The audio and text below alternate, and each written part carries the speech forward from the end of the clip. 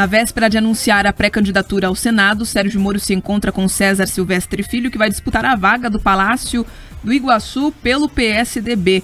O ex-juiz, que é filiado ao União Brasil, anuncia daqui a pouco, em uma coletiva de imprensa em Curitiba, sua pré-candidatura ao Senado pelo Paraná. O suspense em torno de qual cargo Sérgio Moro vai disputar nas eleições de outubro vem se arrastando desde o mês passado. Mas mesmo antes de oficializar sua escolha, o ex-magistrado tem se encontrado com diversas lideranças de outros partidos a fim de costurar um grande apoio em torno de seu nome. Ontem à tarde, Moro se reuniu com César Silvestre Silvestre Filho, pré-candidato ao governo do estado pelo PSDB.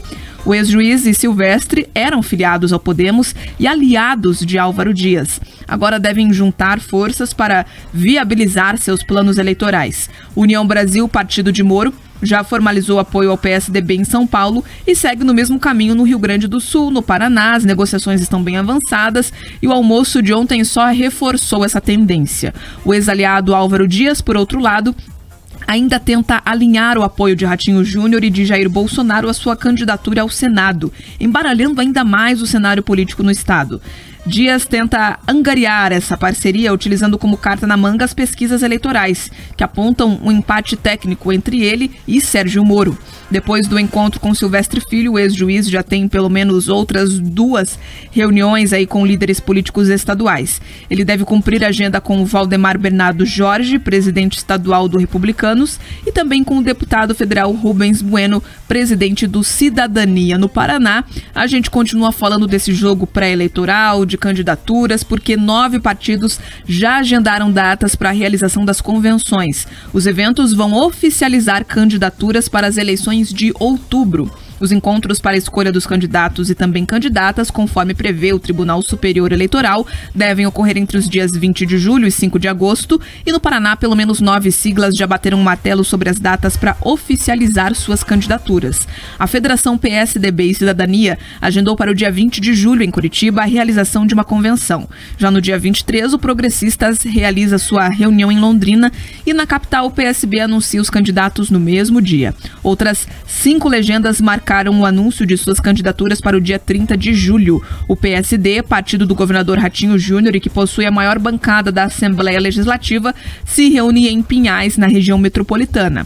Também no dia 30, o PDT promove sua convenção na capital. Da mesma forma, Podemos é, e PROS, o Partido Novo, também vão aproveitar a data para divulgarem suas candidaturas. O PL, legenda do presidente Jair Bolsonaro, marcou para o dia 13 de agosto a realização de sua convenção a gente vê essas datas aí sendo marcadas dentro do prazo, já era esperado aí que permanecesse dessa forma, sempre entre o dia 20 de julho e 5 de agosto, mas a maior parte das convenções predominando ali entre o dia 30 de agosto e o comecinho ali, é, o fim inclusive do último mês. Aliás, é 30 de agosto, para reforçar a data. Então, 30 de julho, desculpe. Então nós temos esses posicionamentos, também temos do outro lado ali o bastidor de Sérgio Moro, que ainda não anunciou, mas em breve deve anunciar a qual cargo é, irá competir. A grande expectativa é em torno do nome dele para o Senado, inclusive aí buscando essas parcerias, como por exemplo